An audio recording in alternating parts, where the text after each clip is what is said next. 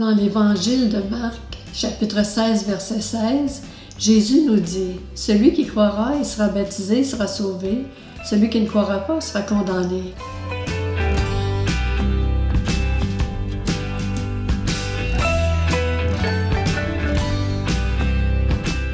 De quoi dois-tu être sauvé?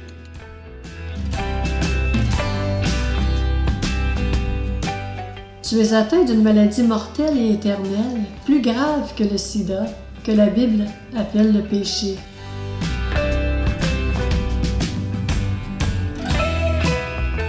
Un petit enfant n'a pas besoin d'apprendre à mentir, à faire ses caprices et à taper son petit copain. Il le fait naturellement. Et avec l'âge, ça ne s'arrange pas. Tout le mal qui te gâche la vie dans ce monde et dans ta propre vie a sa source dans ton propre cœur.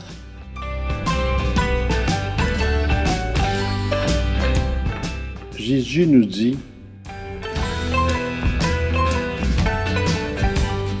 Car c'est du cœur que viennent les mauvaises pensées, les meurtres, les adultères, les impudicités, les vols, les faux témoignages, les calomnies.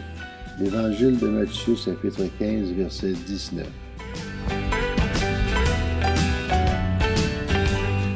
Tu nais avec le péché? Et à cause de ce péché, tu es séparé de Dieu.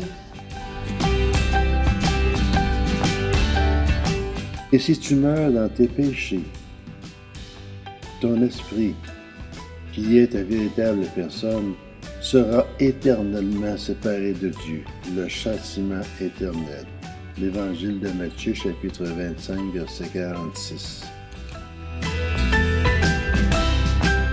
Même si tu n'as ni tué ni volé, tu es rebelle à Dieu, tu contestes son existence.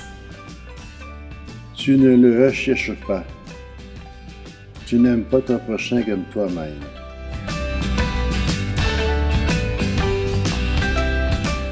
Tu es idolâtre, tu pries la Vierge, les saints et les statues. Tu ne pardonnes pas, tu es orgueilleux, médisant, etc.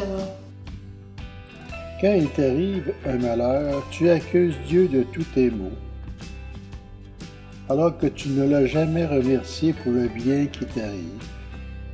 À cause de toutes ces choses, tu es passé du châtiment éternel. Pour être sauvé, que devrais-tu croire? Jésus nous dit Repentez-vous et croyez à la bonne nouvelle. Évangile de Marc, chapitre 1, verset 15. Si tu reconnais tout le mal que tu fais et que tu changes tes comportements mauvais, il y a pour toi une bonne nouvelle.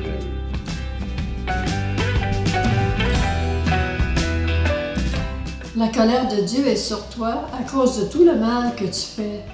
Mais s'il te voit humble et repentant, produisant des actes qui témoignent de ta repentance, alors il exerce sa miséricorde. À cause de ton péché, tu es passible de la mort éternelle, l'enfer. Mais pour te sauver de cette mort éternelle, Dieu t'envoie son Fils unique, Jésus-Christ. C'est toi qui mérites la mort, mais Jésus, le Fils unique de Dieu, lui qui était sans péché, a accepté de venir mourir sur la croix pour subir le châtiment que tu mérites.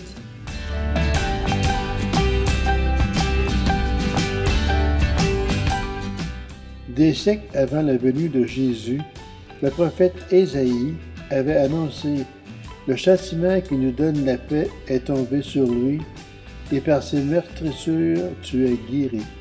Jésus a été crucifié et il est ressuscité.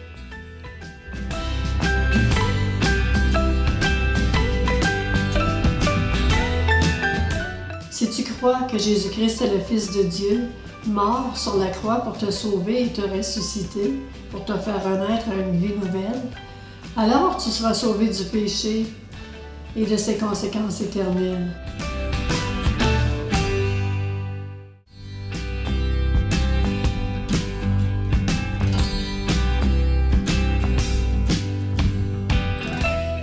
Car Dieu a tant aimé le monde qu'il a donné son Fils unique, afin que quiconque croit en lui ne périsse point, mais qu'il ait la vie éternelle. L'Évangile de Jean chapitre 3 verset 16. Comment dois-tu être baptisé? Jésus nous demande de croire avant d'être baptisé. Un nourrisson ne peut pas croire. Le baptême dont parle Jésus ici, c'est un baptême d'adulte par immersion, dont Jésus s'est fait baptiser lui-même pour te donner l'exemple. Évangile de Matthieu chapitre 3 versets 13 à 16. Avant de te faire baptiser, tu dois croire. Ensuite, le baptême d'adulte par immersion totale est le premier acte de ta vie de disciple de Christ. Ce baptême signifie que tu meurs à ton ancienne vie de péché pour renaître dans une vie consacrée au Seigneur. Si tu veux être sauvé et hériter de la vie éternelle, il faut te repentir, croire à cette bonne nouvelle et t'engager avec Jésus dans une vie nouvelle à son service, en passant par les eaux du baptême. Celui qui croira et sera baptisé sera sauvé, celui qui ne croira pas sera condamné.